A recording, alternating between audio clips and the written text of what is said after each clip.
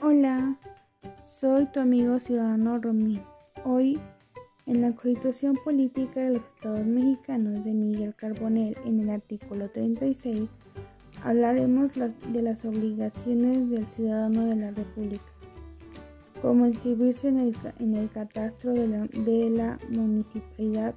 manifestando la propiedad que el mismo ciudadano tenga, industria, profesión o trabajo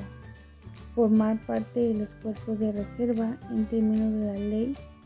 votar en las, elecciones, las consultas populares y los procesos de revocación del mandato en los términos que señala la ley, desempeñar los cargos de elección popular de la federación o de las entidades federativas que en ningún caso serán gratuitos,